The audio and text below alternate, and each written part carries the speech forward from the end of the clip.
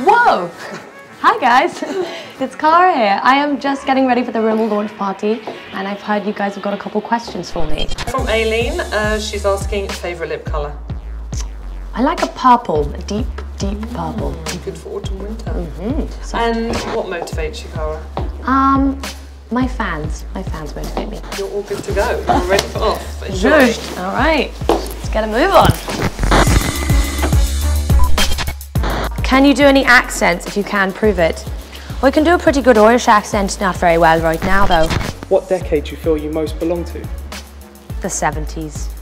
Free love, man. Yeah. Cobbles on high heels is not easy. Don't do it. Okay. Uh, Cara, can you give me a happy advance birthday? Happy birthday to ya. Okay, here we go. Hello there, my dear. How did it feel to say the iconic phrase, get the London look for the very first time? Oh, it was such an honour. It's still so weird to say it now. Which makeup product do you take with you on a night out?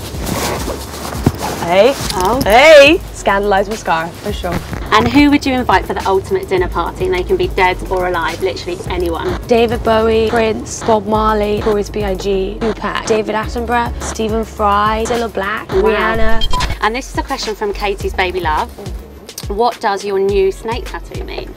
My new snake tattoo, well, on the end of it, it says feral, because um, I think I am. And uh, it, it's, it's about reinvention, shedding of old skin, new beginnings. Incredible. Thank you so much, Cara. Thank Have you, an babe. amazing time at the party. We will do. See you on the dance floor. see you there. Okay, here we go. Cara, run it from All right, guys, thank you so much. Uh, please follow hashtag RimmelXCara to find out more.